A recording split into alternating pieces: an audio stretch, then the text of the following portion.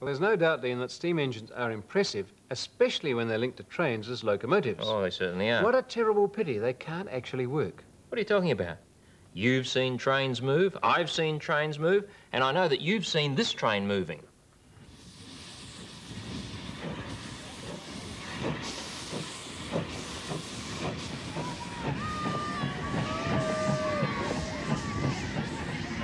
Well, they look glorious. What a terrible pity they can't actually go along. What are you talking about? Well, in theory they can't because, you see, at the bottom of each wheel, the wheel is actually going backwards. Ah, I think I know what you're on about. You see, every wheel on a train, the engine and the carriages, is a little bit like this. There's the wheel part itself, and then there's a rim or flange that sticks out and actually hangs inside the rail, and the wheel moves forward in that way. Everything seems to be going forward. However, if we take a pen and make a little mark on the wheel itself, just there, and another one on the flange next to it, there.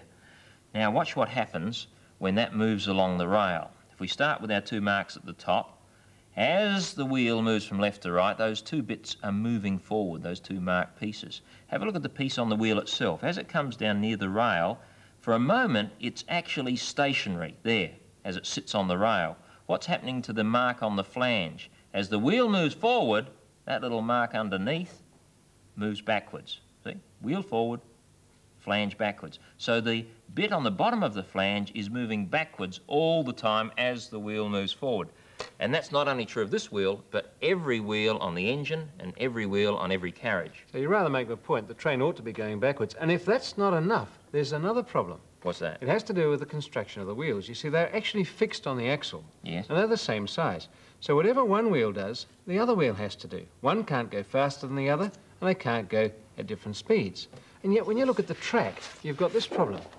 Whenever a train gets to a curve, the mm -hmm. outer track is longer. And if the wheels are going to go around that, one has to go faster or one has to go further. That's and problem. yet, they're fixed together, and they must do the same thing. So obviously, the train can't go anywhere. Amazing. And we'll leave you with it. That's all we have time for today. Goodbye. Goodbye.